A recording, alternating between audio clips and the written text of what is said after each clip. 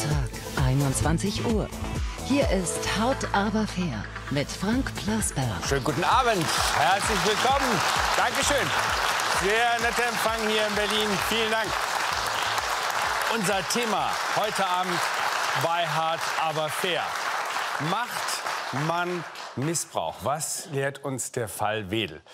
Es ist, als ob ein Korken von der Flasche geflogen wäre. Kaum ein Tag, an dem nicht neue Geschichten bekannt werden, wie Männer ihre Machtstellung ausnutzen, um Frauen gefügig zu machen. Und längst ist es nicht mehr nur die Film- und Fernsehbranche. Eine breite gesellschaftliche Debatte ist losgetreten. Und da wird nicht weniger verhandelt als das Verhältnis von Männern und Frauen. Die Vorwürfe gegen Wedel, die machen fassungslos. Wie konnten damals so viele wegschauen? Und heute sind wir nur wachsamer geworden oder vielleicht schon hysterisch, wenn es zum Beispiel um Alltagssexismus geht. Vieles wird vermischt, aber die Verunsicherung bleibt. Wann wird ein Flirt zur Nötigung? Wann wird ein poetisches Gedicht an einer Unimauer übermalt, weil es einige Studentinnen an die alltägliche sexuelle Belästigung von Frauen erinnert? Hart aber fair mit diesen Gästen.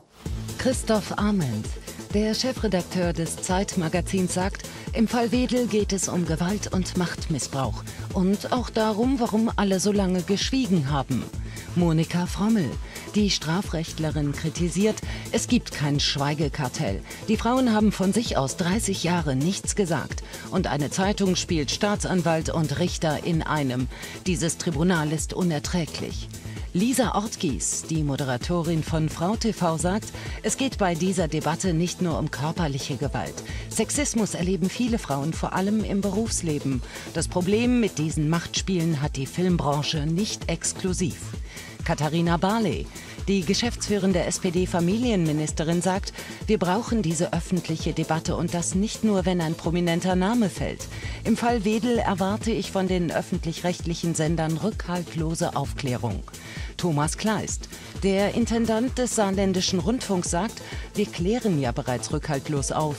Der Saarländische Rundfunk hat seine Archive für Journalisten geöffnet. Das ist unsere Verantwortung, auch damit das in Zukunft nie wieder passiert. Und später in der Sendung Emilia Smechowski. Die Journalistin hat in einem Selbstversuch Männer im Alltag direkt auf deren Sexismus angesprochen. Ihr Fazit, Sexismus passiert viel häufiger, als man denkt. Ich habe das lange ignoriert, weil es für uns zum Alltag gehört.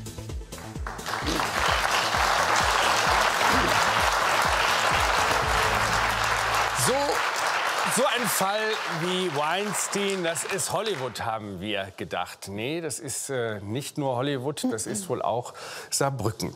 Die Vorwürfe gegen den Starregisseur Dieter Wedel sind erdrückend. Und wenn wir heute Abend äh, über die Lehren aus dem Fall reden, äh, Wedel reden wollen, dann sollten wir erstmal die Abläufe kennen, soweit sie jedenfalls bekannt sind. Im Zwielicht. Unter diesem Titel berichtete das Zeitmagazin unseres Gastes Christoph Arment Anfang Januar über schwere Vorwürfe gegen den Regisseur Dieter Wedel. In dem Artikel wirft die ehemalige Schauspielerin Janni Tempel ihm vor, sie 1996 zum Sex gezwungen zu haben. Die ehemalige Schauspielerin Patricia Thielemann berichtet, 1991 von Wedel sexuell massiv bedrängt worden zu sein. Beide Schauspielerinnen gaben dazu eidesstattliche Versicherungen ab. Wedel widerspricht den Darstellungen umgehend, gibt dazu ebenfalls eine eidesstattliche Versicherung ab.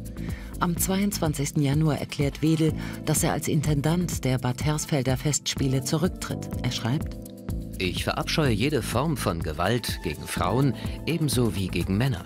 Und weiter? In diesem Klima der Vorverurteilung, der sogenannten Verdachtsberichterstattung, die auf keine erwiesenen Fakten gestützt sein muss, kann ich den Kampf um meine Reputation nicht gewinnen. Weder mit juristischen Mitteln noch mit medialen Stellungnahmen. Der Umfang, die Art und Weise der Darstellung, die Anfeindungen haben für mich ein für meine Gesundheit und natürlich auch für meine Familie erträgliches Maß weit überschritten. Ein paar Tage später legt die Zeit nach.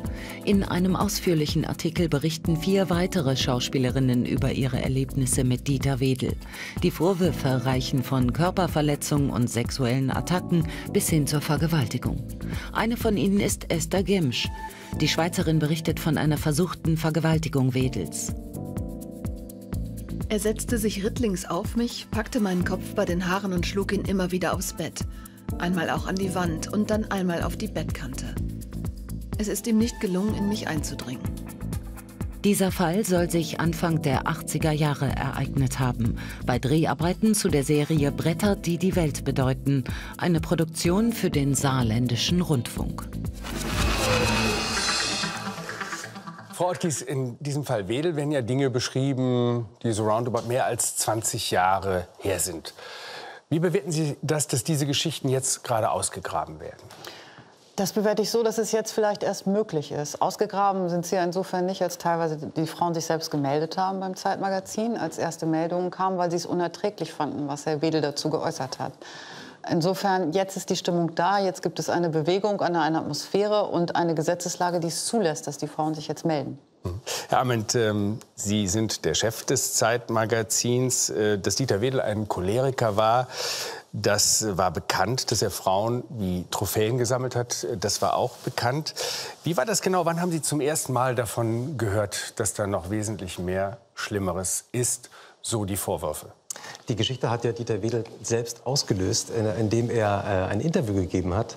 Ähm, als in Amerika der Fall Harvey Weinstein äh, veröffentlicht wurde, hat äh, Dieter Wedel in einem Interview erklärt, dass er selber als junger Mann von älteren Männern bedroht worden, äh, angegangen worden sei am Theater. Er habe sich aber wehren können und äh, sei deshalb also nicht gebrochen worden. Und dieses Interview, das er gegeben hat, hat eine Schauspielerin, ehemalige Schauspielerin, äh, gelesen und hat sich daraufhin entschlossen, äh, jetzt ihre Geschichte zu erzählen. Äh, Gianni Temple, Sie haben sie gerade schon kurz erwähnt. Und ähm, Frau Temple hat sich dann bei uns gemeldet in der Redaktion und äh, hat uns ihre Geschichte erzählt. Und was wir dann gemacht haben, ist ähm, das, wofür die Zeit ja auch steht, nämlich wir haben angefangen zu recherchieren. Wir haben angefangen, in der Filmbranche zu recherchieren. Wir haben mit ehemaligen Mitarbeitern von Dieter Wedel gesprochen ehemaligen Aufnahmeleitern, Kameraleuten, einer Casterin, die für ihn gearbeitet hat. Wir haben innerhalb von zwei Monaten etwa mit 50 Menschen gesprochen und haben im Laufe dieser Recherchen weitere Frauen äh, gesprochen, die von ganz ähnlichen Vorwürfen erzählt haben. Und nach diesen zwei Monaten, nachdem wir also diese äh, Vorwürfe der Frauen ausführlich recherchiert hatten, auch das Umfeld recherchiert hatten, ähm, haben wir Dieter Wedel kontaktiert um ein persönliches Gespräch gebeten. Und die beiden Kolleginnen Annabel Waber und Jana Simon, die die Geschichte recherchiert haben, und äh, haben ihn kontaktiert, um zu, mit ihm über diese Vorwürfe zu reden. Äh, über eine Assistentin hat er dann ähm, dieses Interview äh, nicht äh, stattfinden lassen, hat es abgesagt und hat sich dann später, was natürlich auch ein gutes Recht ist, zu den Vorwürfen äh, schriftlich geäußert. Er dementiert ja, wenn ich Sie kurz unterbrechen ja. darf, er dementiert die Vorwürfe heftig. Ja. Äh, lässt Sie das in, an irgendeinem Punkt an Ihren Recherchen zweifeln? Wir haben deshalb äh, von äh, Anfang an, auch in der ersten Geschichte im Zeitmagazin, seine Dementi und auch seine Sicht der Dinge äh, gleichberechtigt äh, auch präsentiert. Ähm, wir haben die Vorwürfe dokumentiert, äh, die ähm, nach diesen ausführlichen Darstellungen der Frauen ähm, unseren Reporterinnen als glaubwürdig erschienen, auch durch die äh, ehemaligen Lebensgefährten, Menschen in ihrem Umfeld, die das damals alles hautnah miterlebt hatten und haben dann im Magazin aber auch die Sicht von Dieter Wedel äh, gleichberechtigt äh, dokumentiert. Das heißt, wir haben von Anfang an auch dokumentiert, es gibt diese Vorwürfe, äh, aber äh, es ist auch ganz klar und bis heute ist es ja so, Sie dass haben, Dieter Wedel Sie haben Ihr Handwerk Vorwürfe gemacht. Äh, als Journalist haben Sie geahnt, welche Welle Sie damit lostreten würden? Wir haben natürlich eine besondere Verantwortung und Sie können sich vorstellen, dass wir aus diesem Grund äh, die Vorwürfe auch genau geprüft haben. Wir haben ja zum Beispiel im Fall von Jörg Kachelmann ähm, damals vor einigen Jahren eine genau entgegengesetzte ähm, äh, Geschichte veröffentlicht, als wir gemerkt haben, nach der Recherche, nach dem, mit derselben Recherche, die wir auch im Fall Wedel äh, angesetzt haben, da stimmten die Vorwürfe eben nicht. Das hat sich ja später auch vor Gericht heraus. nach, wenn wir die, die Fälle sind sehr unterschiedlich. Ja. Das sagt ja auch Kachelmann, wenn wir den raushalten wollen. Ähm, in dieser Debatte findet er sich äh, auch nicht wieder. Ich möchte jemand anders zitieren. Der Schauspieler Ulrich Tucker, der hat am Wochenende über Dieter Wedel gesagt: Ich sehe, dass da jemand am Ende seines Weges vor dem Trümmerhaufen seiner großen Karriere steht und rechts und links verzweifelte Menschen. Das tut mir in der Seele weh. Es ist der Ruin seines Lebens möglicherweise von ihm selbst verschuldet. Frau Barley, muss man mit Herrn Wedel Mitleid haben auch? Also es steht mir nicht zu, über den konkreten Fall Wedel äh, zu urteilen. Ähm, für ihn gilt die Unschuldsvermutung im juristischen Sinn. Ähm, aber das Problem bei den meisten sexuellen Straftaten ist ja, dass nur zwei Personen da sind und man nie genau weiß, wer sagt jetzt die Wahrheit. In diesem Fall ist es ja anders. Das ist sehr, sehr ausführlich, sehr sorgfältig dokumentiert über einen langen Zeitraum.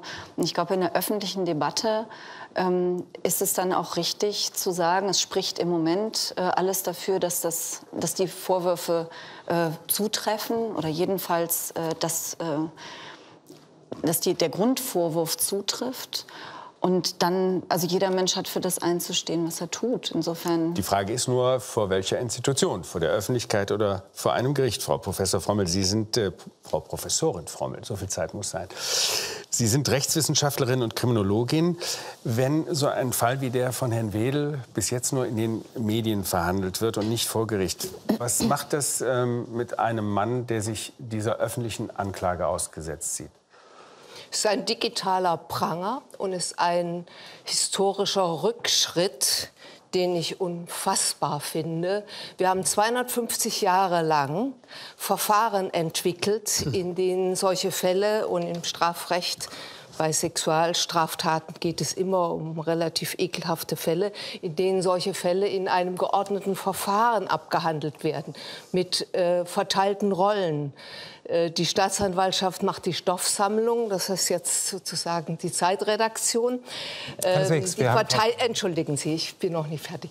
Äh, die, das Gericht muss prüfen, ob die Stoffsammlung der Staatsanwaltschaft äh, ausreichend ist. Die Verteidigung hat Akteneinsichtsrecht, kann Beweisanträge stellen.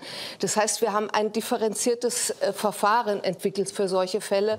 Und jetzt wird das alles übersprungen, sogar bei vollständig verjährten äh, Vorfällen. Und wir kehren zurück in die frühe Antike, ein Scherbengericht wie im alten Athen, in dem sozusagen coram publico ähm, ein Mann bloßgestellt wird und äh, eigentlich keine keine adäquaten Möglichkeiten hat, sich zu verteidigen. Die Frau Tatsache, Frommel, ich dass er eine eidesstattliche äh, Erklärung abgegeben hat, ist Sie ja medienrechtlich sozusagen jetzt ein Todesurteil, weil jetzt hat er sich zur Sache eingelassen und verliert auch noch medienrechtlich.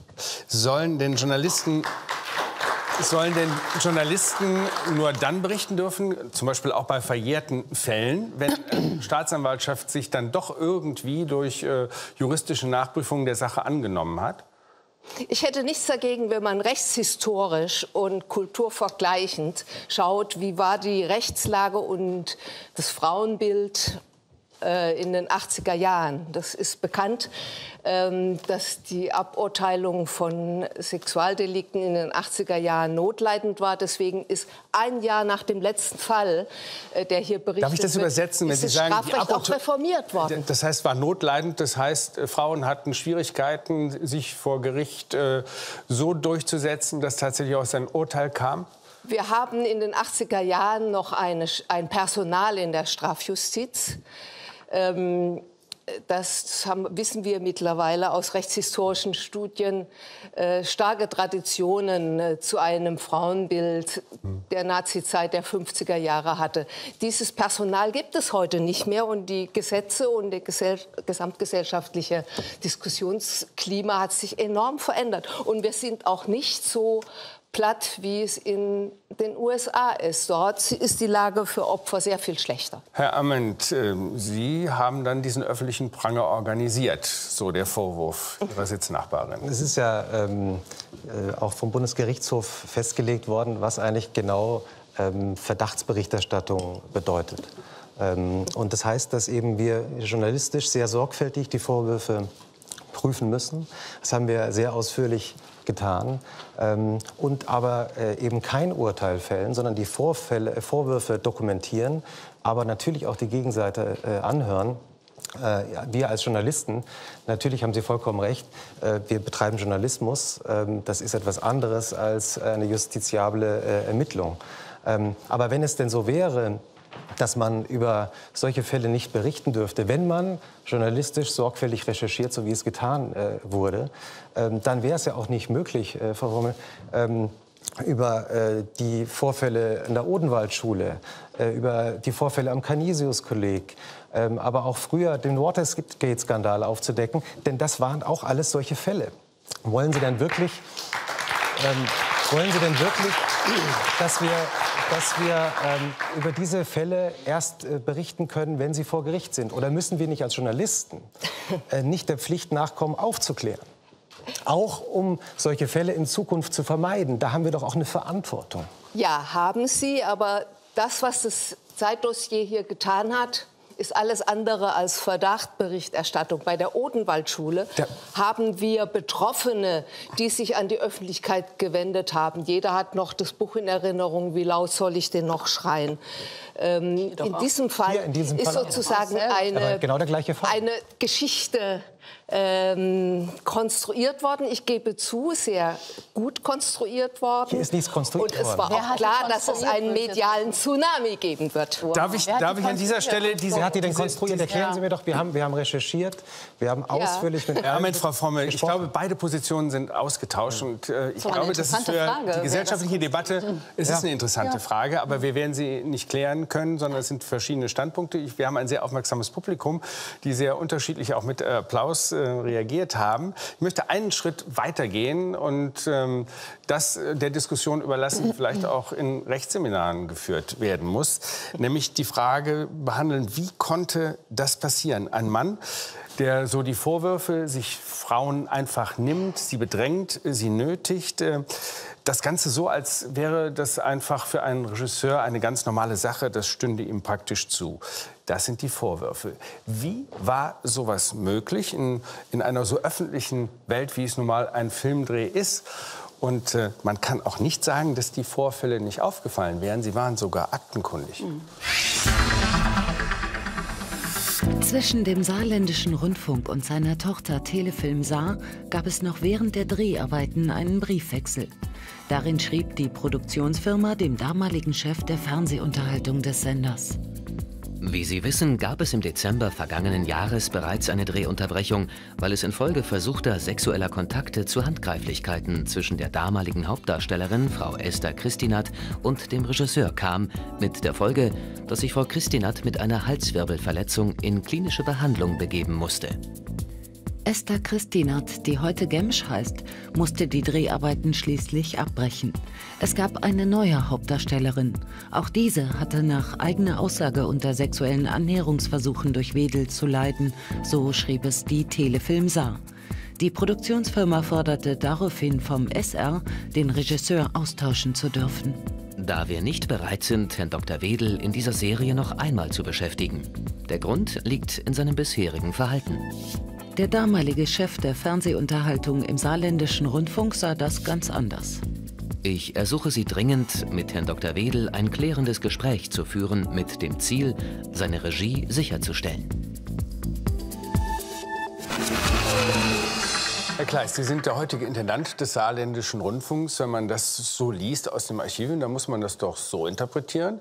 Dem Saarländischen Rundfunk waren seinerzeit die Frauen herzlich egal, solange das Produkt die Quote stimmt. Das weiß ich nicht. Und deshalb habe ich ja auch, äh, als ich von den Kollegen von der Zeit ähm, erfahren habe, welche Vorwürfe im Raum stehen, ähm, ganz kurz überlegt, was machst du jetzt?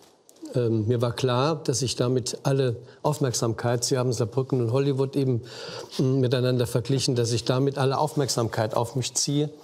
Aber ich wollte mich aber auch nicht äh, gemein machen mit einem System, in dem sowas vorkommt. Und deshalb äh, war mir auch klar, ich habe selbst eine Tochter, die 29 Jahre alt ist und diese jungen Frauen waren 24 Jahre äh, und äh, wenig älter. Und da war mir klar, da musst du was dazu tun, äh, Verantwortung übernehmen, für den saarländischen Rundfunk natürlich und aufklären. Und deshalb ist mir übrigens auch äh, Ihr Ansatz, äh, greift mir zu kurz, weil Sie zu sehr jetzt äh, auf die Täterrolle sich fokussiert haben. Man muss ja auch mal die Opferrolle sehen. Und in einer modernen, transparenten Mediengesellschaft äh, ist es eine große Kunst und auch gar nicht so einfach. Es gleicht einem Ritt auf der Rasierklinge, hier den richtigen Ausgleich äh, zu wählen, mhm. zu finden, dem Täter die Unschuldsvermutung zukommen zu lassen, aber auch dem Opfer gegenüber Verantwortung zu tragen und nicht nur in der Aufbereitung des Sachverhalts, sondern vor allem, ich hoffe, darauf kommen wir ja noch, aber noch die Beantwortung meiner Frage. Ich bleibe erst mal bei der Vergangenheit. Ja, ja, ich gerne dabei. Nochmal, Sie sind heute der Repräsentant des Saarländischen Rundfunks. Es lebt kaum noch jemand aus dieser Zeit, mhm. jedenfalls der Verantwortlichen. Da sagt die Produktionstochter, wir wollen den Mann rausschmeißen. Und der senderverantwortliche äh, Unterhaltungschef sagt, äh, nee, führt ein klärendes Gespräch, Hauptsache der Mann bleibt bei der Stange. Ich wiederhole mal meine Frage. Mhm. Frauen waren nicht so wichtig, äh, wie Herrn Wedel weiter wirken zu lassen. Das Und kann zwar sein. auf allen Das Gebieten. kann sein. Und wenn es so war, war es nicht in Ordnung. Und wenn es so war, wir sind ja noch bei der Sachverhaltsaufklärung. Wir haben ja äh, insgesamt, ich habe ja die Archive sofort geöffnet, weil ich selbst interessiert bin Herr Arment, an der Aufklärung. Sie haben, Sie haben geklopft und die Tür ging auf. Ja, ja wir haben angeklopft angeklopft und ich glaube, Sie haben intern äh, zwei, drei Tage auch diskutiert, wie Sie damit äh, äh, umgehen und haben dann aber für uns die Archive geöffnet. Und das war für uns ehrlich gesagt auch bei der zweiten Geschichte, die wir veröffentlicht haben, auch ein ganz wichtiger Moment, weil plötzlich schriftlich festgehalten war, hier diskutieren Anwälte, äh, Produktionsfirmen, ähm, ihr Sender, ja, die Verantwortlichen von damals, um die Frage, die Hauptdarstellerin ist ausgefallen, weil offenbar der, der, der Regisseur äh, gewalttätig mit ihr umgegangen ist. Äh, es ging nur um die Frage, warum wird die Serie teurer? Kein Mensch hat gefragt, wie geht's der Frau? Das Insofern in kann man, glaube ich, schon sagen, dass dem Sender die Frauen so ein bisschen egal waren im Zusammenhang. Ich das weiß, Sie sind jetzt vorsichtig, aber diese Nein, Fakten liegen ja, ja vor. Mal, das mag ja sein, aber äh, diesen Schuh will ich mir heute nicht anziehen und deshalb habe ich ja Herr Kleist, darf ich Ihnen bei der Bewertung deshalb helfen? habe ich das ja alles darf getan, ich Ihnen helfen, diesen Fall aufzuklären. In den Akten, Absolut. Ich, in, Sie sind ja auch nicht angegriffen. Ja, sind ja nicht Sie persönlich angegriffen. Ne? Nee, nee, nee, nee ich sage sag ja, ich Nur bin auf Ihrer Seite. Damals ich möchte ja wissen, wie es hm. war und warum man so reagiert hat. Und wenn man so reagiert hat, wie es sich aus den Akten jetzt ergibt, war es verantwortlich. Ich darf noch mal aus den Akten zitieren, das macht einen wirklich fassungslos aus der Rückschau. Da findet sich nämlich auch der Satz, eine persönliche Angelegenheit und für die Redaktion wird, wird sie erst dann wichtig, wenn die Arbeit oder deren Qualität ernsthaft gefährdet ist. Das steht ja. da. Also, Man hat das offensichtlich unter. Was haben Sie gedacht, als Sie diesen Satz gelesen haben? Ich war erschüttert. Ich war erschüttert und habe gedacht, das kann ja wohl nicht wahr sein. Heute würde, jedenfalls ich würde so nie reagieren. Das ist die ja Zeit genau das, was ich gesagt habe. Das Personal war in allen Bereichen damals ein anderes. Das Bewusstsein ja. war ein anderes. Schauen Sie sich mal heute alte James Bond Filme an. Das ist unerträglich. Also damals, ich weiß noch, als ich, ich bin mit meinem Vater da noch reingegangen und haben uns darüber unterhalten, habe ich gesagt, das ist doch beklopptes Zeug. Heute würde jeder sagen, das ist bekloppt, das Frauenbild. So, das, das heißt, wir haben einen enormen gesellschaftlichen Wandel und diese alten Geschichten sind mitnichten repräsentativ für den heutigen Umgang mit Opfern. Ganz im Gegenteil. Wir haben einen, etwa seit 15 Jahren eine sehr stark opferzentrierte ähm, Strafverfolgung. Wir haben auch ansonsten im gesellschaftlichen Bereich einen sehr, genaues, sehr genauen Blick auf Opfer. Die Frage ist aber doch tatsächlich noch mal, äh, auch wenn es zurückliegt, wie kann das passieren? Frau Barley mahnte da auch äh, von den Sendern Ländern eine große Offenheit an. Äh, Im Moment tagen die Intendanten gerade. Auch der WDR zum Beispiel hat mal bei sich nachgeguckt äh, und heute diese Stellungnahme abgegeben. Der Dreiteiler Wilder Westen inklusive aus den Jahren 1987-88. Laut WDR die einzige direkte Produktion des Senders mit Dieter Wedel. Zu den bisherigen Nachforschungen sagt der WDR, Bislang haben wir keine Anhaltspunkte für gewaltsame körperliche Übergriffe von Wedel, wie sie in der Zeit geschildert wurden. Allerdings gibt es mündliche Schilderungen, dass Dieter Wedel am Set eine Person verbal systematisch herabgewürdigt haben soll, nachdem sie seine Annäherungsversuche zuvor zurückgewiesen habe. Die Aufarbeitung dauert noch an. Wir haben noch kein abschließendes Gesamtbild. Wie gesagt, äh, die ARD-Intendanten beraten darüber. Morgen in München sind Sie wieder dabei, Frau Barley. Äh, Sie haben im Fall Dieter Wedel von einem Schweigekartell gesprochen. Wer gehört in Ihren Augen zu diesem Schweigekartell? Also das Schweigekartell meinte ich damit, dass es schon erstaunlich war, die ganze Zeit über. Wir haben ja nicht zum ersten Mal solche, solche Wellen, äh, wo solche Fälle auftreten, dass ähm, das überall passiert, in den USA und in Großbritannien und in Frankreich, aber bei uns Bisher anscheinend nicht. Und äh, das war eben nur so möglich, weil, ich meine das jetzt gar nicht konkret auf den Fall Wedel bezogen, sondern generell ähm, es in vielen Branchen und ein Stück weit auch in der deutschen Gesellschaft so eine Einstellung gibt, eine Grundmentalität, über sowas spricht man nicht. Wenn ich, mit, wenn ich äh, mich daran erinnere, wie die Diskussion damals war, als wir die ähm, Vergewaltigung in der Ehe unter Strafe gestellt haben. Ich meine, das war ja, das war ja unfassbar, was da teilweise gesagt wurde. Das ist privat, da ist die Tür zu, ähm, das geht keinen was an. Also diese, ähm, diese Mentalität, dass man Unrecht auch benennt, das, da haben wir anscheinend immer so ein bisschen Nachholbedarf. Und deswegen sage ich, das würde so heute nicht mehr passieren. Und ich finde es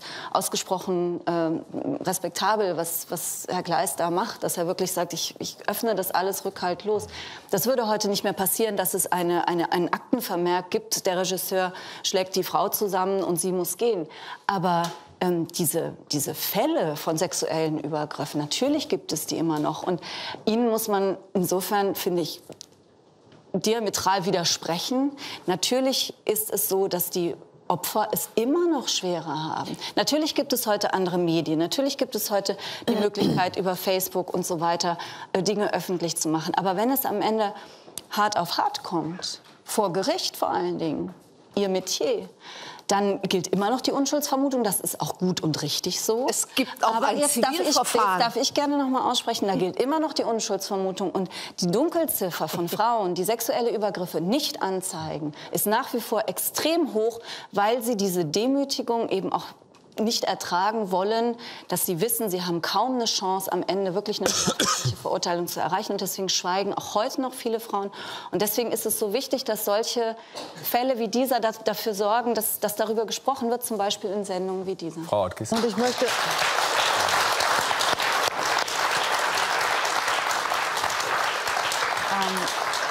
Und ich möchte hinzufügen, dass es ja erstmal zur Anzeige kommen muss. Sie haben ja recht, dass sich da viel getan hat. Die Frage ist, wie, wie weit ist der Weg, bis jemand, bis eine Frau zur Polizei geht, bis das Opfer sich überhaupt äußert dort. Und da sind die Dunkelziffern ja enorm. Insofern ist so eine Sache wie MeToo, ist so ein Fall wie Dieter Wedel, wenn er verhandelt wird, öffentlich verhandelt wird, auch vielleicht eine Ermutigung für Frauen, die sich jetzt vielleicht bei aktuellen Fällen Ja. bisher nicht trauten, sich zu melden. da die vielleicht diese, diese Werkzeuge juristisch gar nicht kennen. Die setzen da wahnsinnig viel voraus. Es gibt eine kostenlose Beratung beim Amtsgericht. Es gibt Prozesskostenhilfe, das heißt, es kostet nichts.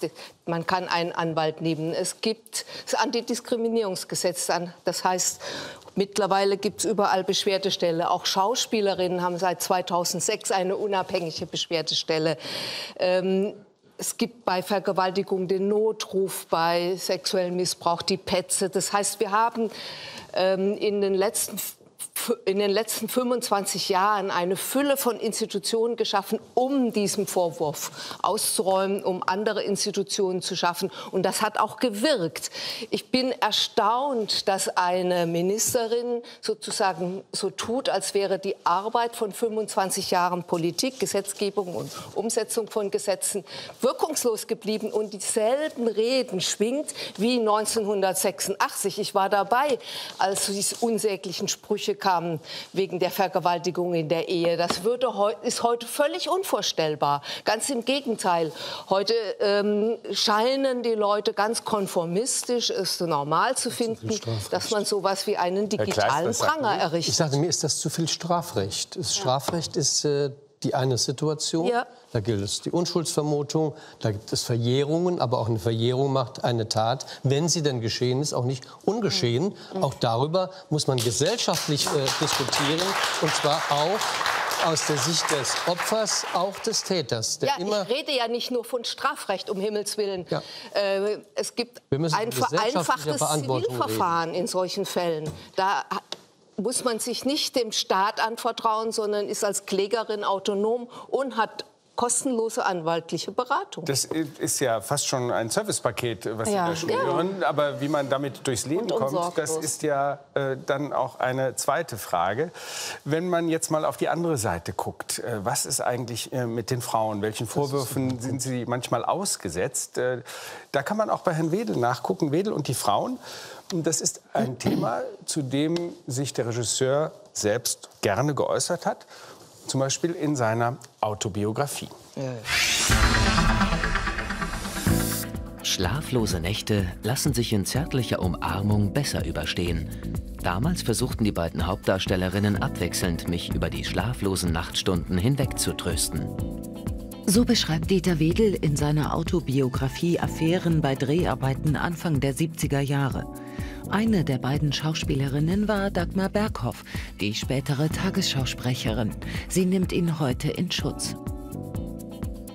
Ich denke, Dieter Wedel hatte es nicht nötig, eine Frau gegen ihren Willen ins Bett zu bekommen. Und auch andere Schauspielerinnen und Schauspieler stellen sich vor den Regisseur. Es gab Kleindarstellerinnen, die haben ihm in den Drehpausen die Brüste auf die Schulter gelegt und um ihn geworben. Er selbst war beim Dreh nie anzüglich. Wedel ist ein großer Frauenliebhaber. Und die Frauen waren ihm nie abgeneigt, haben sich bisweilen äußerst aggressiv an ihn rangemacht. Frau Ortkies, ändert das, was Sie da gerade gehört und gesehen haben, etwas an der Beurteilung Ihres, äh, Ihrer Beurteilung des Falles Wedel? Also das, was die Opfer hier schildern in den äh, Aussagen, die sie der Zeit zur Verfügung gestellt haben, ist in der Klarheit, in der Ähnlichkeit, in der Dichte, in der, in der Vielzahl. Die kennen sich ja nicht. Es gibt ja keine Absprachen zwischen den Opfern. Es kommen immer dieselben Erzählungen. Im Übrigen auch von Iris Berben, die gesagt hat, sie hat dasselbe erlebt, einen Annäherungsversuch, ähm, sie ins Bett zu bekommen, hat das abgelehnt und hat dann das auf dem Set zu spüren bekommen. Das wiederholt sich ja. Und das ist für mich Anlass, äh, den Opfern da wirklich Glauben zu schenken in diesem Moment. Aber was ist mit äh, den Schauspielern, die Sie hier gehört haben, die vielleicht ebenso einen Anspruch auf Wahrheit erleben, damit vielleicht auch ein Körnchen Wahrheit treffen? Ändert das etwas an den Fällen? Es geht, doch bei, dabei nicht, es geht doch nicht um Sex bei diesen mhm. Fällen. Das ist immer der Fehlschluss. Mhm. Es geht nicht um, um Sex, Charme. es geht um Macht. Mhm es geht um darum, Macht auszuüben über jemand anderen. Dass er äh, eine freie Auswahl an Frauen hatte, die äh, mit ihm ins Bett gegangen wären, ist, spielt dafür überhaupt keine Rolle. Richtig. Wenn so ein Mensch, was ich jetzt strafrechtlich nicht unterstellen will, aber was viele schildern, wenn er das Bedürfnis gehabt hat, immer wieder Macht auszuüben, sexuell, aber ja auch durch, diese, durch dieses permanente Erniedrigen, davon sprechen ja sehr viele unabhängig von sexuellem Übergriffen, dann, dann ist das eine Form, Macht auszuüben. Und da, deswegen ist mir so wichtig bei dieser ganzen Debatte, dass man noch mal einen Schritt zurückgeht und guckt, was ist das eigentlich? Wir haben dieses Machtungleichgewicht zwischen Männern und Frauen in dieser Gesellschaft. Das zeigt sich in ganz vielen Bereichen. Und solange wir das haben, werden wir auch ähm, sexuelle Übergriffe immer erleben. Wir haben ja, wir haben ja, ja wir haben ja in den Fällen, wir haben ja insgesamt äh, 24 Fälle äh, dokumentiert, sieben davon haben wir veröffentlicht. Ähm, und äh, bei der äh, Geschichte von Frau Gensch, die wir vorhin schon gehört haben, war es ja so, dass es gab ja dann eine andere junge Schauspielerin, die nachbesetzt wurde. Es gab eine neue Hauptdarstellerin. Und auch die wurde von Herrn Wedel wieder so belästigt und äh, sie musste sich diesen Avancen und den Nötigungen erwehren. Ähm, das hat dazu geführt, und das ist ja das, was auch Frau Barley gemeint hat, dass auf offener Bühne mhm. während der Dreharbeiten diese Frau bei den Dreharbeiten erniedrigt wurde und äh, sogar gezwungen wurde, einmal auf einer Bühne vor dem gesamten Set vor allen Mitarbeitern Scheinwerfer im Gesicht äh, äh, auszusagen, äh, dass, äh, dass das alles nicht stimme. Das heißt also, äh, diese Erniedrigungen haben so stattgefunden, dass auch andere am Set das mitbekommen haben. Das Mitarbeiter. Nochmal zu dem Schweigekartell, das eben von Frau Barley auch mal angesprochen wurde. Wie ist das erklärbar, dass so viele Menschen, Männer wie Frauen, so ein Team kommt leicht schon mal an 40, 50 Personen ran. Wie ist das erklärbar, dass niemand oder nur sehr wenige sich da offenbart haben. Ist das auch Gegenstand Ihrer Untersuchungen? Haben Sie noch Menschen getroffen, die damals dabei waren? Ich habe ja sofort, als ich von den Vorwürfen hörte, ähm, zwei Dinge gemacht. Ich habe eine Taskforce eingerichtet, also eine Arbeitsgruppe im Haus mit äh, dem Justiziar, dem Kommunikationschef und der Leiterin der Intendanz. Ich habe das also zur Chefsache erklärt und habe überlegt, welche Verantwortung hatte das Unternehmen Saarländischer Rundfunk und welche Konsequenzen müssen wir heute für die Zukunft ziehen? Äh, zum Zweiten habe ich ähm, die, eine, zwei junge Journalistinnen dran gesetzt, die das journalistisch aufbereiten sollen. Ich habe zum Dritten auch äh, meine Gremien informiert, was auch wichtig ist. Auch das ist eine Form öffentlicher Kontrolle. Und meine Kolleginnen und Kollegen, anderen Intendanten, um die Dinge transparent zu machen denn das war, glaube ich, früher ein Punkt. Man hat nicht Darf ich drüber das noch geredet. Herr Kleis, nur damit das Leute auch verstehen, die zwar Rundfunkgebühren bezahlen, aber die komplizierte Struktur nicht kennen. Von dem Untersuchungsbericht damals, da ging es ja darum, dass die Kosten enorm in die Höhe geschossen ja. sind. Der Saarländische Rundfunk war noch nie ein Reicher. Das äh, war sicher fast ruinös. Durch diese sexuellen Übergriffe, so sie denn stimmen, sind die Produktionskosten in die Höhe geschossen. Es gab Revisionsberichte, mhm. die müssen auch in den Gremien angekommen sein. Das heißt... Äh, das weiß ich noch nicht. Ich bin dabei. Also man muss okay, ja auch, Vorsicht, auch meinen Vorgängern Rechnung tragen. Nicht nur Opferschutz und Täter, auch äh, die Sachverhaltsaufklärung gilt ja auch. meine Formulierung. Meine die Wahrscheinlichkeit ist hoch nach all dem, wie man Abläufe kennt. Es spricht vieles dafür, dass. Danke. So ist es richtig. Ja, um, umso größer ist die Frage eben, äh, wie es passieren konnte. Und ist das alles einer Zeit geschuldet und einem äh, Rollenverständnis zwischen Mann und Frau, das überkommen ist oder eben nicht das überkommen, überkommen war wir müssen uns zurückversetzen in die 80er Jahre. Und dann stell, äh, da wundert mich gar nichts. Was entschuldigt das ja nicht? Nichts. Nein, entschuldigt natürlich das entschuldigt eine das schwere nicht. Kriminelle es war eine Zeit, in der... Wollen Sie das ähm, Wollen wir jetzt mal ein paar Sachen lesen, die unter MeToo-Hashtag zu finden sind? Dann ja. würden Sie, glaube ich, nicht Da war Deutschland so widerwärtig wie gleich. jetzt die Situation in Hollywood. Ja, aber wir sind es nicht mehr. Also ich finde es unfair, wenn man äh, die, eine Wem Geschichte gegenüber? erzählt und unterschwellig immer die, äh, die Mitteilung transportiert. Eigentlich ist es immer noch so. Das stelle ich mal die Frage, wieso haben äh, diese viele dieser Frauen, äh, die, äh, die, vermutlich Grund hätten, äh, sich zu wehren, wieso haben die nicht zehn Jahre später, 15 Jahre später? Wir haben jetzt tatsächlich Wissen nur Sie noch was? verjährte Sie? Fälle. Wir haben noch Also viel das- früher gesprochen. Das Ja, ist wieso das keine. Zivilklage? Die war nicht das verjährt. ist ja das Erschütternde an den Fällen. Vielleicht wenn haben Sie, Sie wenn sich Sie, geschämt. wenn Sie zuhören. Vielleicht Sie, haben Sie sich geschämt. Sie haben, haben sich damit Sie haben geredet. Sie haben Sie haben geredet. geteilt. Wir haben das dokumentiert in beiden großen Recherchen, die wir veröffentlicht haben. Die haben sich ähm, an Anwälte gewandt, die haben sich an ihre engsten Vertrauten gewandt, an ihre Agenten. Und alle haben ihnen gesagt, mach's lieber nicht so öffentlich, äh, geh damit nicht in die Öffentlichkeit, du bist Anfang 20. Wenn du jetzt damit an die Öffentlichkeit geht, ist deine Karriere zu Ende. Es gibt ja zwei Dinge. Das eine ist, dann ist Frau, Ihre Frau Ball, Sie Karriere sind gleich wieder dran, aber ich möchte noch mal drauf kommen, weil Sie sagen, dann ist, Sie, schaffen Sie noch. Wenn Sie sagen, die, die Karriere ist zu Ende, ist das auch eine Erklärung für die Frage, die Sie eben nicht beantwortet haben, nämlich das große Team. Hatten alle diese Angst, auch den Beleuchterjob loszuwerden, von Herrn Wedel nicht mehr als Kameramann eingesetzt zu werden, dass der Requisiteur sagte, Mensch, es gibt äh, einen großen Arbeitsmarkt für Requisiteure und an der Saar habe ich nicht so viele Alternativen. Ich weiß, äh, Sie forschen noch, aber ist das äh, eben auch eine ist das, was wir Erklärung dafür, haben auch, dass es so viele Zeugen gab eines Tribunals äh, und es ging immer weiter? Ich So, glaube, es gab auch nicht die Sensibilität, die man heute hat. Es gab damals nicht die Sensibilität, was es ja nicht im Nachhinein entschuldigt, aber es macht's, man kann es vielleicht damit erklären. Ich verstehe es sonst nicht. Wir waren alle in der Maske eben. Fragen Sie mal die Maskenbildnerinnen. Ich habe die mal gefragt. Haben Sie das, erleben Sie das auch? Und die sagen, natürlich erleben wir das. Und die eine sagte mir, und ich würde am liebsten kurz vor der Rente dem einen noch mal richtig sagen, was er für ein Arsch ist. Entschuldigung, wenn ich das einmal im öffentlichen Recht, äh, öffentlich-rechtlichen so sage. Und daraufhin sagt die andere, bitte nicht, ich muss noch zwei Jahre länger aushalten hier. natürlich gibt es das heute noch. Recherchen in der Maske von Hart aber fair. Danke, dass Sie es öffentlich machen. Ja, aber das, das, eine ist eben, das eine ist eben Angst um die eigene Existenz. Und das Zweite ist aber auch, dass die Erfahrung von ganz vielen Frauen natürlich ist, dass sie am Ende nichts erreichen. Also gerade im Strafrecht, dass die Anklage dann am Ende fallen gelassen wird, dass, dass keine Verurteilung erfolgt, weil natürlich nur zwei Personen anwesend waren und die Unschuldsvermutung gilt. Und dass deswegen ganz viele ähm, es nicht öffentlich machen und nicht zur Anzeige bringen. Und dann dieses Gefühl, ähm, ich stehe dann auch am Pranger. Ich bin dann die, man fühlt sich ja wohl so was wie beschmutzt. Also Denn das, waren ja auch Pranger, Schilderungen das, was Sie sagen, dort. Das, was wir auch von den äh, Frauen gehört haben, die sich jetzt mit vollem Namen der, an der Öffentlichkeit dazu bekannt haben, was äh, ihnen passiert ist. die erleben das ja genauso.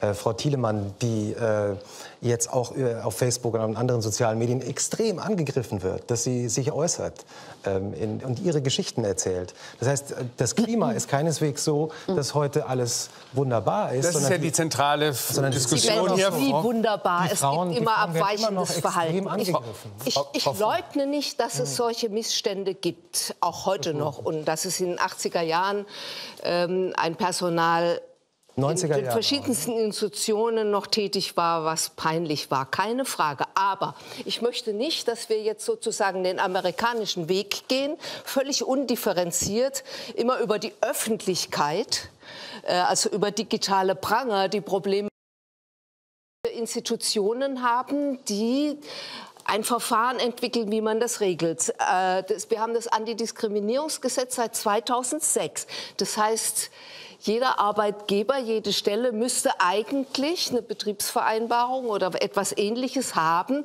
um hier bessere Abläufe zu schaffen. Das ist dann kein Gesetzgebungsversagen, sondern das ist ein Versagen vieler äh, Politiker und Arbeitgeber, Gesetze dass sie das nicht aber das umsetzen. Problem nicht. So. Vielleicht, ja. Frau Frau natürlich einfach, äh, einen Mann an den Pranger zu stellen. Schwieriger ist es, seine Arbeit zu machen. Und die ist nicht gemacht worden, Frau Barley.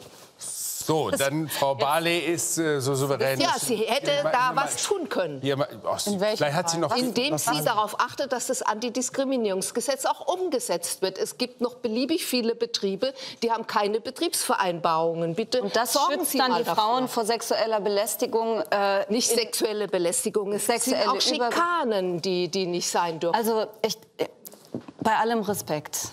Ja. Aber das ist ein gesellschaftliches Problem Aha. und kein rechtliches Und Problem. dazu Wir haben würde ich ganz, gleich noch ganz mal viele kommen, Frau. Regelungen, aber sie, sie können nicht von oben nach unten ähm, dieses Problem lösen. Es gibt jede Menge gute Gesetze und ähm, das Problem ist einfach, ich habe es schon mal gesagt, ist dieses Machtungleichgewicht. Das würde, wenn Sie, wenn Sie in einen Raum kommen und da sind zwei gleichrangige, ich sage jetzt mal Abteilungsleiter oder was, ein Abteilungsleiter, eine Abteilungsleiterin, ähm, dass die Frau ähm, dem Mann an den Hintern greift und sagt, hey, na, wie wär's denn?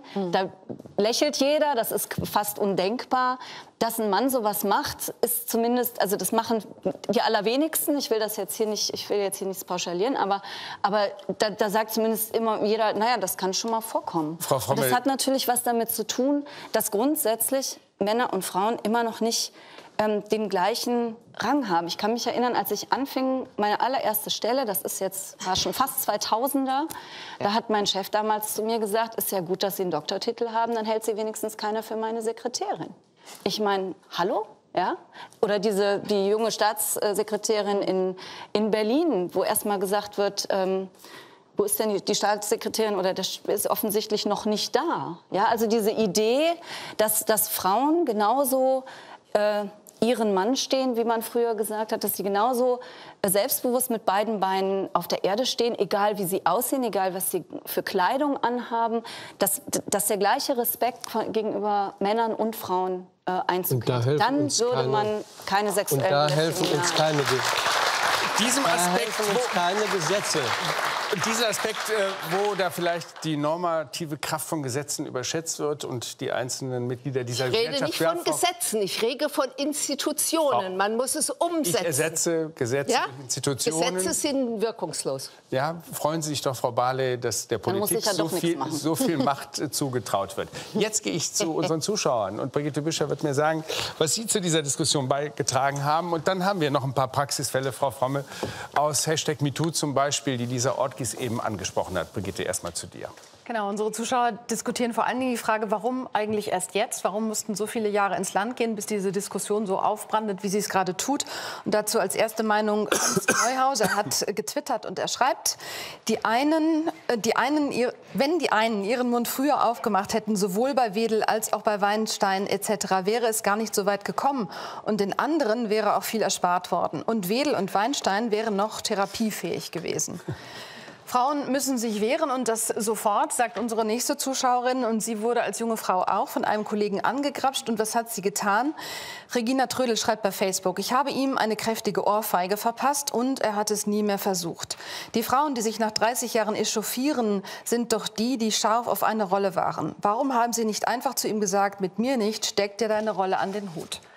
Es gibt dort aber auch Widerspruch und Verständnis dafür, dass man vielleicht so lange schweigt. Und ähm, Anita Gentgen schreibt bei Facebook, in der Zeit, in der die Vorfälle mit Wedel sich ereignet haben sollen, fanden Frauen nicht so leicht Gehör, wie dies heute der Fall ist. Damals war die Emanzipation noch nicht so weit fortgeschritten.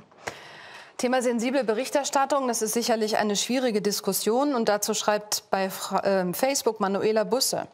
Man ist so lange unschuldig, bis das Gegenteil bewiesen wird. Also bitte nicht immer gleich schnell urteilen und verurteilen.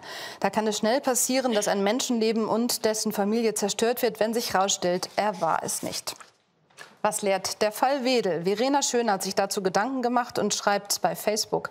Der Fall Wedel lehrt uns, dass Frauen bei manchen Männern immer noch als freiwillig gesehen werden, dass Kollegen wegschauen und keiner den Mumm hat, was zu sagen, weil sie selbst dadurch Schwierigkeiten bekommen könnten.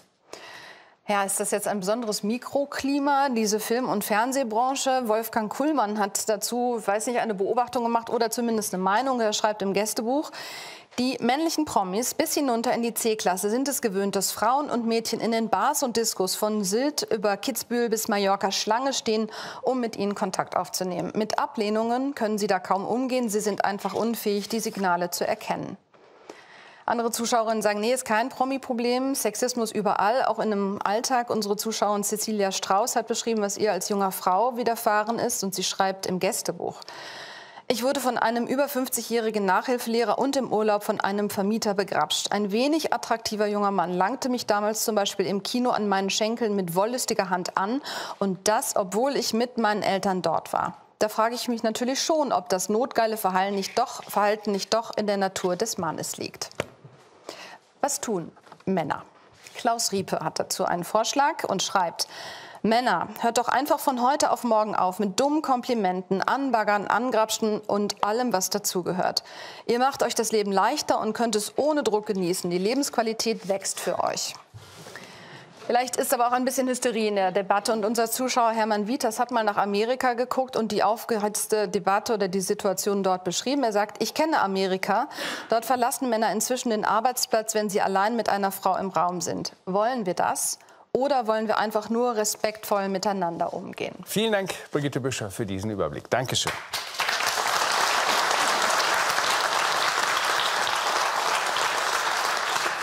Wir haben gelernt, Übergriffe, Nötigen, Nötigung, Sexismus, das ist bei weitem kein Problem nur in der Filmbranche. Das gibt es auch mitten in der Gesellschaft. Wenn man aber die entsprechende statistische Zahl dazu hört, dann ist man schon erstaunt.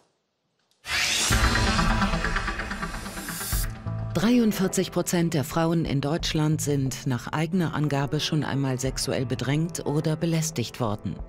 Und einige von ihnen erzählen auf Instagram, Facebook oder Twitter unter dem Hashtag MeToo, zu Deutsch Ich auch, ihre Geschichte. Der nette WG-Gast ohne Anklopfen in Unterwäsche in meinem Zimmer. Ich habe den ganzen Abend mit dir geredet. Das steht mir jetzt zu. Wie ein Anruf alles änderte. 1997. Zusammen mit meiner liebsten Freundin aus der Schule und anderen haben wir Jahrgangspartys organisiert. Nach einer dieser Partys hat mich ihr Vater Sonntagmorgens gegen 9 Uhr angerufen. Ich war noch völlig verschlafen und habe erst gar nicht kapiert, was da gerade passiert.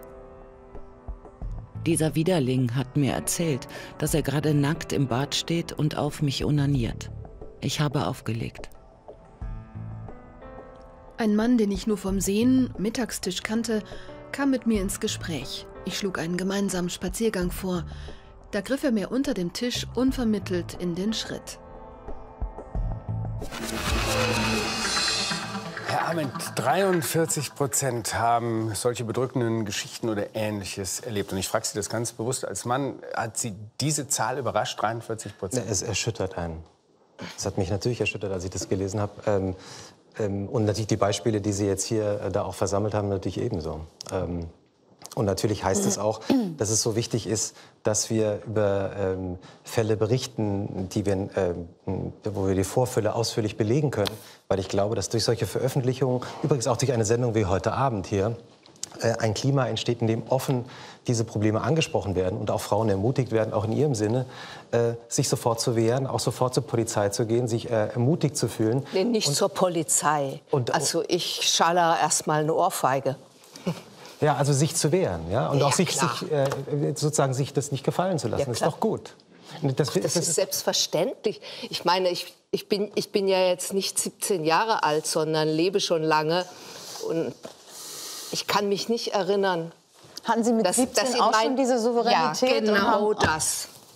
Haben Sie ja, dann haben ja alle die, dann haben wir ja kein Problem. Das heißt, also dann gibt es wahrscheinlich ein, keine Vorfälle, ja, die Frauen Wir müssen einfach als Frauen lernen, ähm, eine Körpersprache zu entwickeln und ein Reaktions Repertoire zu haben, was solche Sachen beendet. So und dann gibt es auch noch die Also es liegt Seite. an den Frauen, die Situation äh, erst gar nicht entstehen zu lassen und es liegt auch an den Frauen, sich in dem Moment zu Nein, wehren. Es liegt an äh, wir haben keine daran. Ansprüche und keine Wünsche an Männer oder so, wie wenn würden wir Sie jetzt mal fragen, wie nerven Frauen, welche Schikanen können auch äh, können Frauen äh, entwickeln, dann kriegen wir ein anderes Spektrum. Das heißt, wir sind jetzt fixiert und das ist ein US-amerikanischer Blick. Wir sind jetzt fixiert auf auf Sexualität. Männer und Frauen haben unterschiedliche Formen, äh, sich unangenehm durchzusetzen. So. Können wir nicht mal äh, ich würde, über die ich würde bei Männern auch sagen, ja. Herr Kleist fordert, fordert eine, eine ernsthafte ja, ich glaub, Diskussion. Ich finde diese Diskussion ernsthaft. Es steht mir nicht zu, Frau Fromme zu bewerten, ob es ernsthaft ja, ist oder nicht. Aber Sie können anderer Meinung sein, ja, Herr Kleist. Bitte schön. Ich bin ja auf dem Podium hier. Ich darf das, weil ich finde, das geht an der Sache völlig vorbei. Äh, wir waren doch jetzt schon so weit, dass wir gefragt haben, ähm, Machtmissbrauch, eben nicht nur Sexualität, sondern generell Machtmissbrauch und wie und was können wir dazu tun, heute in der Gesellschaft? Indem wir es öffentlich diskutieren, was die Zeit aus meiner Sicht hervorragend äh, gemacht hat, und indem wir ein Klima von Respekt und Wertschätzung schaffen. Ich habe zum Beispiel in meinem Unternehmen, im Saarländischen Rundfunk, ein großes Projekt aufgelegt, das sich genau, das heißt wir im SR zusammen besser, das sich genau mit dieser Frage beschäftigt, des gegenseitigen Respekts, des Abbaus von Hierarchien und der Augenhöhe. Und wenn ich mit Menschen auf Augenhöhe bin, wenn ich das erreiche in einem Unternehmen, dann krapscht auch keiner. Das, das ist, glaube ich, die beste das, Prävention. Äh, hoffe ich, dass es im Unternehmen funktioniert. Aber wie sieht das eigentlich im Alltag aus? Äh, auf der Straße, in den Cafés? Äh, was ist eigentlich Alltagssexismus? Hat man sich als Frau schon so daran gewöhnt, dass dieser Alltagssexismus einem gar nicht mehr auffällt? Äh, was passiert eigentlich, wenn man Männer mal direkt drauf anspricht, wenn die einen nett gemeinten, aber blöden Spruch loslassen oder einen auch äh, berühren? Ich möchte Ihnen eine Journalistin vorstellen, die eine Art Selbstversuch gemacht hat, und zwar für das SZ-Magazin. Ein Selbstversuch über mehrere Wochen. Emilia Smechowski, herzlich willkommen. Schön, dass Sie bei uns sind. Hallo. Wie muss ich mir das, wie muss ich mir das vorstellen, ein, ein Selbstversuch in Sachen Alltagssexismus? Äh, ich habe einfach immer, äh, wenn, also über mehrere Wochen lang, wenn mir eine Situation sexistisch vorkam, also mir persönlich, habe ich reagiert. Also meistens verbal oder eigentlich immer verbal. Wie? Äh, ich habe die Männer angesprochen. Also Nennen Sie Beispiele. Männer. Äh, es waren zum Beispiel, also eine, eine fast traurige Geschichte, muss man sagen. Ich war auf Dienstreise im Hotel, saß im Frühstückssaal, ähm, saß auch nur unter Männern, muss man sagen. Ähm, die Frauen waren da, um, äh, war das Servicepersonal, also ich war die einzige Frau. Und ähm, äh, genau, da war so eine Männergruppe, die irgendwie gefeixt hat, noch halb betrunken war und ein einzelner Mann saß da, der mich äh, angeschaut hat die ganze Zeit. Und zwar diese Art von Blicke, Blicken, die, die eben nicht nett gemeint sind, sondern irgendwie so ein bisschen einen durchbohren und taxieren. Und äh, den habe ich angesprochen äh, und, und, ihm gesagt, äh, er, er, soll mich bitte nicht mehr anstarren, er soll das lassen. Und, ähm, und dann kamen wir ins Gespräch. Und äh, dann hat sich aber... War der erstmal erschrocken, ertappt? Es waren alle erschrocken. Also, ähm, und es, war, es waren auch alle... Ähm, es waren alle erschrocken und alle wahnsinnig freundlich dann, was mich sehr, sehr überrascht hat. Also ich hatte mit viel mehr Aggression und Wut gerechnet mhm. eigentlich. Das dieser Mann, äh, was hat er Und dieser Mann, der hat dann erzählt, ähm, dass seine Frau gerade gestorben war und, äh, und dass ich äh, dass ich ihn erinnere an seine Frau in jungen Jahren. Und ähm, Genau, das war natürlich eine totale Ausnahme. Das war auch eine Geschichte, die, die ich so nicht erwartet hatte. Ähm, und die mich auch so ein bisschen dann doch hat verstummen lassen.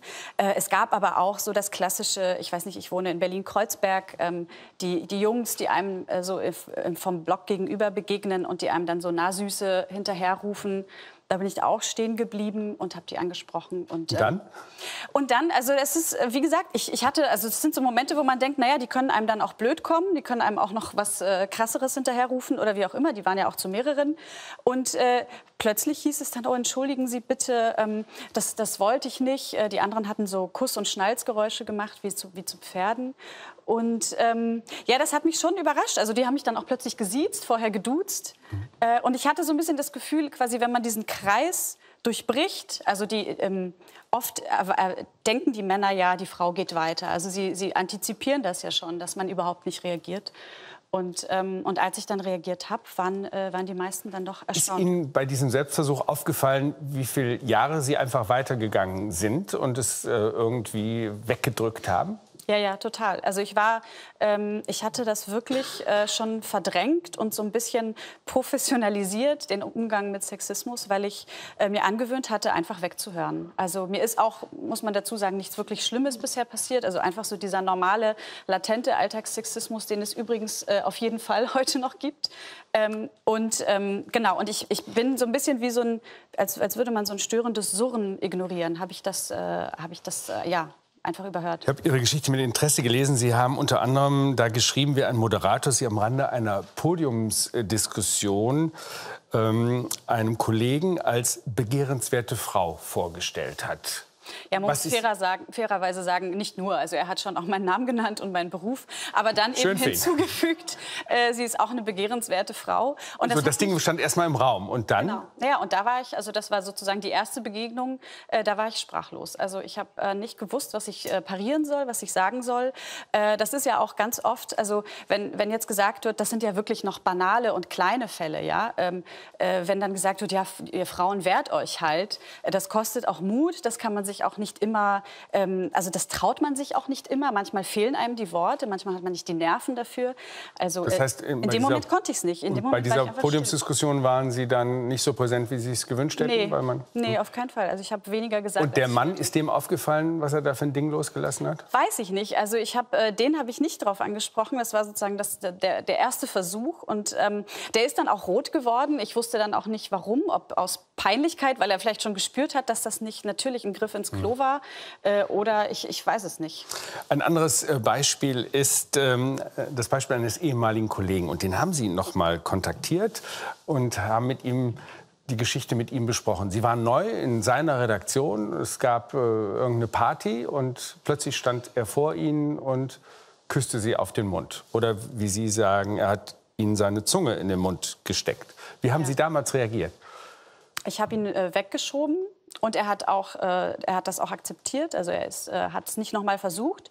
Und wir haben dann nie wieder darüber geredet. Ähm, und es ist natürlich auch, also es war eben keine Party, es war so ein bisschen die Schwelle zwischen Beruf und Privat, wie es, sie, sie es ja auch in vielen Branchen gibt, unter anderem ja auch beim Film, ähm, dass man eben nicht weiß, also man, man, man ist in einem, man ist nur unter Kollegen, aber man trinkt halt ein Bier zusammen. Und ich hatte aber in dem Moment, ich war wirklich, also ich war Berufsanfängerin und ich dachte, oh Gott, also mein erster Gedanke war, wer hat das jetzt alles gesehen? Also haben die Kollegen das mitbekommen? Sie haben ihn für die Geschichte noch mal äh, kontaktiert. Äh, und wie hat er reagiert, als Sie ihn angemeldet haben, nehme ich an? Ähm, erst erschrocken, also er hat erst äh, Oje geschrieben und, und, und äh, genau. Und dann ähm, hat er aber gesagt, er trifft sich. Und äh, ich hatte erwartet, dass ich ihn ein bisschen vielleicht überreden muss.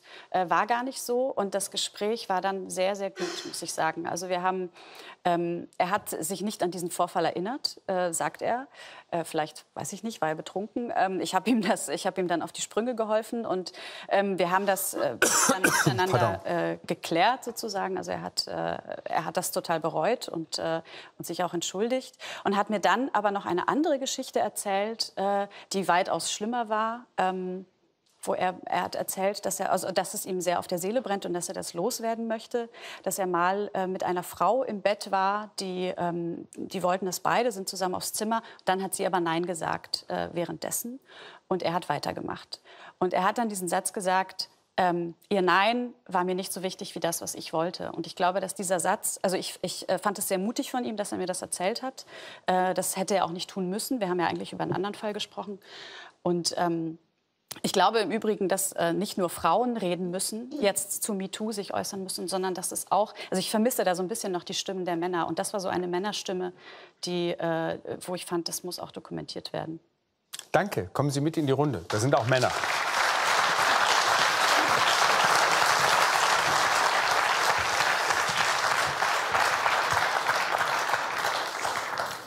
Hat jemand eine Idee, ähm, wo Männer sowas gelernt haben? Also dieser Kollege zum Beispiel, der hat Ihnen, glaube ich, auch wenn ich das richtig gelesen habe, gesagt, das sei sein Türöffner gewesen. Eine gute Nummer mit der Zunge. Äh, in den meisten Fällen hätte das geklappt. Ähm, also hat jemand eine Idee, woher das kommt, äh, außer dass es äh, in einer anderen Zeit war vor Ort ist?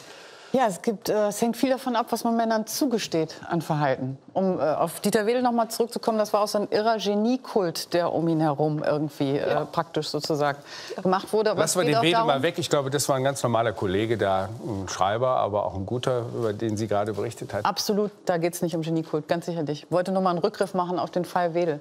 Äh, das, was Ihnen zugestanden wird, damit meine ich jetzt auch nicht Ihr Beispiel, sondern ähm, das, was von Ihnen praktisch an Männlichkeitsbildern unterwegs ist, was an Rollenbildern da draußen unterwegs ist. Ähm, und das sind Sachen, die leider eben ganz tief verankert und immer emotional angebunden sind. Wie sich jemand als Mann versteht, wie sich jemand als Frau versteht. Also ob ich eher aktiv bin, was für Konnotationen ich damit verbinde und wie ich auftrete sozusagen, wie ich im Arbeitsleben auftrete, wie ich mich selbst verstehe. Da kommen Sie ganz, ganz schwer ran. Und Sie haben ganz viele Leute, die die in Genderkurse gehen und, und trainiert werden und so weiter. Und wie ich selber erlebt habe bei so einem Seminar, dann am Bistrotisch stehen und sich über den Hintern der Seminarleiterin unterhalten. Und dann sind Sie dazwischen gegangen und haben gesagt, Jungs... Nein, ich nehme das als Journalistin natürlich alles mit. Ich bin jetzt nicht dazu da, irgendwie die in die andere Richtung zu coachen. Das interessiert mich erstmal von außen. Hätte man natürlich machen können, in diesem Sinne, die mal zu konfrontieren. Das sollte man viel öfter tun. Was mir fehlt bei der ganzen Debatte ist, wir reden die ganze Zeit über die Männer im Grunde indirekt und direkt, aber irgendwie ist das im Moment die schweigende Mehrheit. Ich sehe die, sehe die nicht auf MeToo, ich sehe sie nicht in der Debatte. Ich sehe es gibt zwei, drei Kollegen, die darüber schreiben, sonst niemand äußert sich. Ich wüsste so gern, was die denken ja. in der Masse. Es liegt vielleicht daran, dass hier Männer immer noch Chefs sind und schreiben lassen, Herr Ahmed. Ich, ich schreibe auch selber. Ja, ich das auch selber ich weiß, dass Sie tolle, lange Geschichten schreiben. Ich frage Sie trotzdem, möchte Sie ein bisschen kitzeln, was sagt denn der Chef äh, des Zeitmagazins? Das, was wir hier gehört haben, unbedachte Sprüche, schiefe Anmache, bis hin äh, auf einer Redaktion reaktionsfreier Zunge im Hals. Gibt es das auch bei der Zeit oder arbeiten doch nur reflektierte, kopfgesteuerte, kontrollierte, fortschrittliche Männer? Also das hoffe ich stark, dass es, äh, dass es diese Männer gibt. Glauben Sie wirklich, dass Und das... Ich glaube, dass, aber ich, wissen Sie, ich, ich glaube natürlich jede Organisation, jede Firma, jede Redaktion, dafür ist ja auch dieses äh, Thema jetzt gerade so gut in der Debatte. Äh, ich glaube, das erhöht auch einfach die Aufmerksamkeit und es verändert auch das Bewusstsein. Und deswegen ist es auch so wichtig, dass wir über solche Fälle die wir dokumentieren können, berichten. Weil natürlich auch eine Runde wie heute das äh, Bewusstsein einer Öffentlichkeit verändert. Und ähm, wenn Männer dadurch auch ein bisschen verunsichert sind, da ist gar nicht so schlecht. Wenn der ein oder andere Mann plötzlich über sich selber nachdenkt und denkt, verhalte ich mich eigentlich immer richtig, das kann gar nicht schaden, finde ich, weil Verunsicherung kann auch zu neuen Erkenntnissen führen. Herr Kleist, fühlen Sie sich verunsichert und sind Sie froh darüber?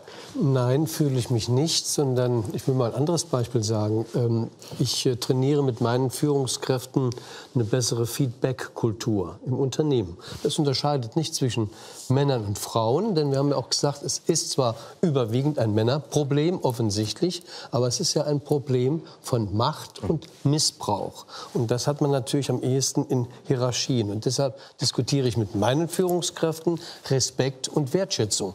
Da beginnt es ja schon. Frau Balle, Sie, ja? Und äh, vielleicht noch einen zweiten Satz. Ich glaube auch, ähm, es sind die Verhaltensmuster. Es sind die Verhaltensmuster, wenn ich mal so sehe, jetzt was man über Herrn Wedel berichtet am Set. Äh, da hört man auch Geschichten von Dirigenten, von Regis Theaterregisseuren und alle, die sich irgendwie völlig verrückt verhalten. Solange man sagt, das ist aber toll, der ist erfolgreich, das ist der, damit leistet man Vorschub, dass diese Verhaltensmuster auch nachgeahmt werden. Und Lassen Sie uns sagen, das hat auch ja. was mit äh, Machtverhältnissen zu tun. Also ich ja, bin sonst auch mit einem Verein pro Quote, gibt es Medien pro Quote, Regie. Mhm. Wenn Sie 30 Prozent Prozent Frauen haben in der Führung, ändert sich die Arbeitskultur automatisch. Wir haben das Problem gelöst. Wenn Sie eine Vielfalt, wenn Sie Diversity haben, das ist so ein schönes Stichwort, in den. Führungsetagen passiert so etwas nicht. Ich möchte hier möglichst viele Bereiche reingucken. Herr Kleist hat es dankenswerterweise möglich gemacht, wenn auch durch einen traurigen, mutmaßlichen Vorgang, wie es beim Sender geht. Es gibt äh, eigentlich kaum Bereiche, wo, wo Frauen geschützt sind äh, vor blöden Sprüchen und Anmachen. Und natürlich auch im Bundestag ist es nicht so. Äh, da ist einmal wirklich auch ein Spiegel der Gesellschaft. Schauen Sie mal, was die Kollegen des WDR-Projekts Docupy zu hören bekommen haben. Als Frau im Bundestag spielt ihr Geschlecht eine Rolle? So hässlich bist du doch gar nicht, dass du in die Politik gehen musstest. Ich sei ja bemerkenswert kompetent und es klang schon so dieses Überraschend durch. Und äh, außerdem hätte ich den schönsten Arsch im Gremium. Warum hat man äh, Frauen über Jahrtausende unterdrückt? Und dann kommt der Satz, es hat sich bewährt. Da kommt unsere sehr hübsche Kollegin und stellvertretende Fraktionsvorsitzende. Das gibt es nach wie vor. Ich äh, erlaube mir dann zu ergänzen und zu sagen, und klug bin ich auch noch. Ich war gerade so richtig gut in Fahrt, habe tolle Argumente gebracht. Und dann sagt der Mann mir gegenüber, also deine Ohrringe, die wackeln so schön, wenn du dich aufregst. Frau Barley, haben Sie Ihren Arbeitsalltag wiedererkannt? Ich glaube, jede Frau hat sich da ein Stück weit wiedererkannt. Ja, sowas passiert natürlich in der Politik. Und ich glaube, das Schlüsselwort hat Herr Kleist eben zum zweiten Mal genannt. Das Schlüs- Schlüsselwort heißt Respekt. Den Das kann ist- man ja so der- oder so äußern. Da habe ich ein schönes Beispiel. Nachdem Andrea Nahles auf dem letzten SPD-Parteitag äh, eine sehr leidenschaftliche, äh, laute Rede gehalten hat äh, für die Große Koalition, da hat die FAZ geschrieben, der einzige Mann in der SPD-Führung scheint Andrea Nahles zu sein. War das ein Kompliment oder ist das Sexismus, Frau Barley? Also, Auf diesen, auf, auf diesen konkreten, auf diese konkrete Äußerung, das ist echt geschenkt. Äh, Der Punkt ist, der Punkt ist tatsächlich. Aber ich glaube, ähm, dass die, die Entschuldigung, war die Reaktion auf Frage Frau Nahles- blöd? Ich glaube, dass die Reaktion auf die Rede von Frau Nahles, ich glaube, das ist schon äh, interessant für die Wahrnehmung von Klischee, Geschlechter, äh, Klischees. Ja, ein, wir ein, sind, ein wir sind wieder Politiker- auf einer schiefen Ebene, Ja. weil es geht wieder darum, was ist typisch männlich, was ist typisch weiblich. Das ist wieder genau der Punkt. Also, Aber ein, Sie, ein Politiker, der auftritt und der schwitzt, äh, Genau, das kennen der- wir, das, das ist Respekt, da, da gibt es äh, Applaus, das ist diese Bierzeltatmosphäre. Wenn eine Frau genauso leidenschaftlich äh, auftritt äh, bei einer wichtigen Parteitagsrede, äh, wird plötzlich äh, äh, ja, ganz wobei das anders in diesem. Fall jetzt anerkennend gemeint war. Deswegen will ich auf Ja, aber diesen es konkreten Fall gar nicht eingehen. Der Punkt ist doch der, es gibt, es gibt die Rollenklischees.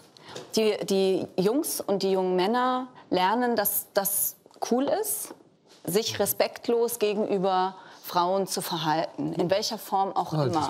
Und da gebe ich jetzt ausnahmsweise mal Frau Vommel recht, das wird wahrscheinlich das einzige Mal äh, heute bleiben, nämlich wenn sie sagt, äh, wenn man sich die, die Filme, die James Bond-Filme, die habe ich nämlich neulich mit meinen Söhnen noch mal geguckt, von damals anguckt, da ist dieses, der Mann nimmt sich jetzt die Frau, passiert da ja Sie das am pädagogisch begleitet, das Meter. Gucken mit so Nicht-Jungs? Oder wie darf ich das verstehen? Ja, die sind insgesamt, glaube ich, ganz emanzipiert erzogen. Aber die, die Medien haben da auch eine große Verantwortung, weil die Rollenbilder sehr stark mitprägen. Aber im Grunde genommen am Ende des Tages, wenn man auch gefragt wird, ja, darf ich denn jetzt gar nichts mehr als Mann? Darf ich denn jetzt gar nicht mehr richtig Mann sein? So ein Blödsinn. Das Einzige, also ich glaube, es ist überhaupt nicht schwer zu unterscheiden zwischen einem Flirt und einer fiesen Anmache. Man muss sich einfach nur mal überlegen, das wäre jetzt deine Freundin oder deine Schwester.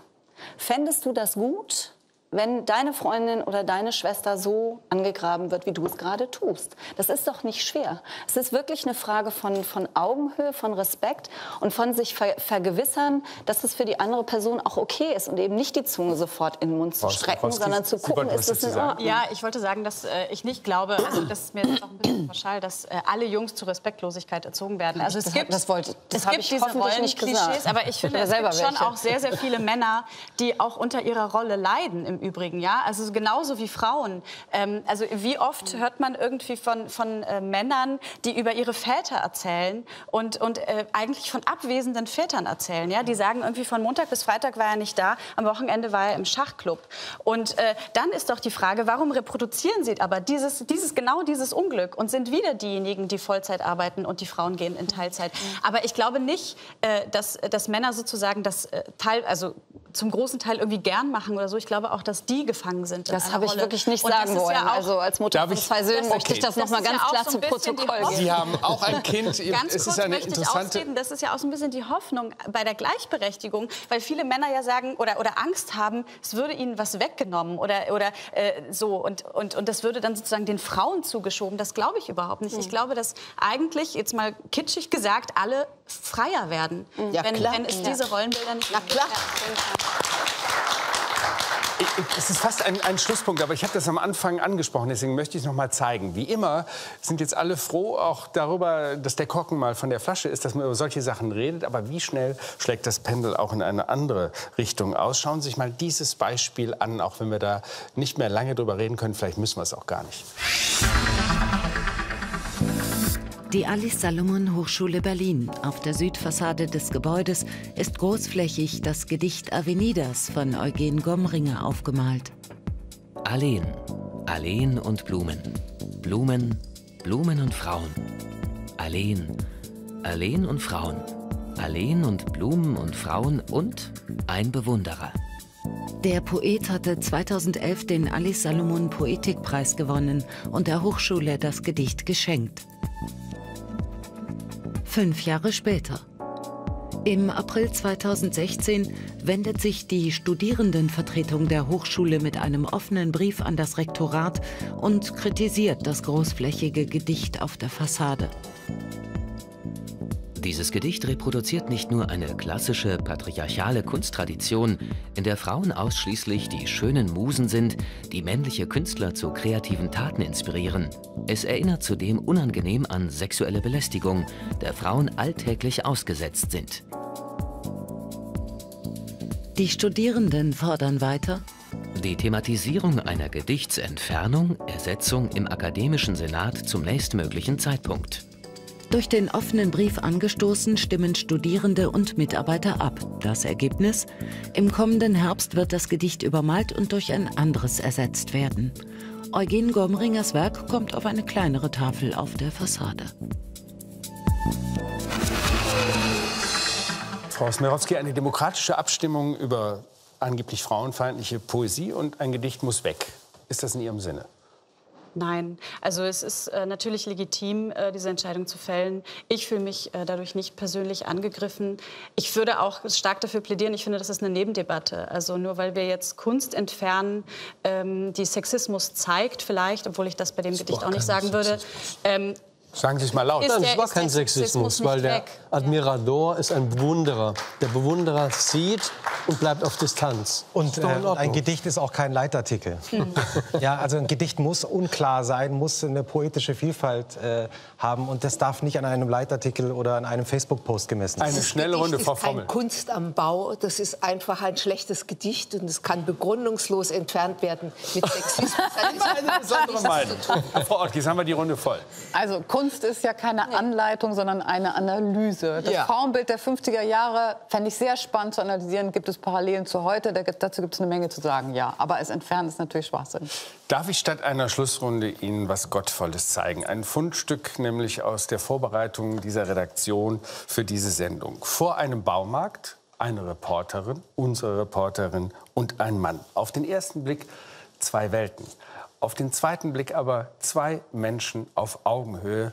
Der versöhnliche Schluss dieser Sendung, er sei uns gestattet. Sind Sie schon mal in die Situation gekommen, dass Ihnen eine Frau vorgeworfen hat, das war jetzt aber nein, sexistisch, nein, das ging mir zu nein, weit? Nein, nein, nein, überhaupt nicht die Leute, die mich, äh, also ich bin, mache gerne Spaß und die Leute wissen das dann, dass das ein Spaß ist. Wenn ich jetzt hier reingehe, da sind auch ein paar Mädels, ja, die finde ich auch super nett und da mache ich auch immer dasselbe. Ja? Mädels wäre jetzt zum Beispiel schon so ein Begriff ganz streng genommen als Emanze, wo man sagt, das ist sexistisch. Ich, äh, bitte? Ja, das ist ein veralteter Begriff. Junge Frauen, würde man sagen. Sind, oder Frauen. Die sind ja nicht jung. Verunsichert Sie das jetzt oder äh, nö, äh, also nee, eigentlich nicht. Also ich kenne das nicht anders. Entschuldigen Sie mal, ich bin 50 Jahre. Sie verlangen doch jetzt nicht von mir, dass ich jetzt darauf warte, was, äh, äh, darauf achte, was ich sage. Doch. Wenn ich Mädel sage, das ist doch nichts Schlimmes, hören Sie mal. Doch. Das gibt's doch gar nicht. Das ist unglaublich. Ich, ich sage immer Leben und Leben lassen. Respekt. Ja. Voreinander. Ich akzeptiere Sie, Sie akzept, dann erwarte ich im Gegenzug, dass Sie mich akzeptieren. So einfach ist das. Dann nenne ich Sie auch nicht Bübchen. Das ist nett von Ihnen, Dankeschön. Und ich nenne Sie nicht Mädel. Yes. So, hat geklappt, hier wurde auch gelacht. Sie haben gesehen, das, das Interview war geschnitten, aber denken Sie nicht, wir hätten das irgendwie auf Pointe geschnitten. Über sechs Minuten lang gibt es das bei uns auf der Seite www.hartaberfair.de. Vielen Dank erstmal und jetzt gleich äh, zur nächsten Frau. Ja, Karin Mioska ist da zu den Tagesthemen. Was erwartet uns heute? Ja, wir haben es schon gehört, die Koalitionsverhandlungen gehen nun schon wieder in die Verlängerung. Morgen, so heißt es nun, will man zu einem Abschluss kommen. Aber wir sind ja Kummer gewohnt. Jamaika ist ja auch völlig überraschend geplatzt. Wir fragen also gleich nach, wo es immer noch stockt und vielleicht doch noch ein Restrisiko des Scheiterns in der Luft liegt. Ui, ui, ui. Frau Barley, halten Sie das für möglich? Nichts ist unmöglich in der Politik. Nichts ist unmöglich von der Politik. Damit hat mir Frau Barley den Schlaf geraubt. Vielleicht Ihnen auch, Frau Mioska. Gleich Bericht in den Tagesthemen. Vielen Dank an diese spannende und tiefbohrende Runde. Vielen Dank, Frau Ortges. Danke, Frau Frommel. Dankeschön, Herr Ahmed. Frau Barley, herzlichen Dank. Frau Smirowski, herzlichen Dank. Herr Kleist, vielen Dank. Faktencheck weiß ich gar nicht, ob wir heute einen brauchen. Wir sehen uns wieder in zwei Wochen. Nächste Woche ist Rosenmontag. Allah von Tillau.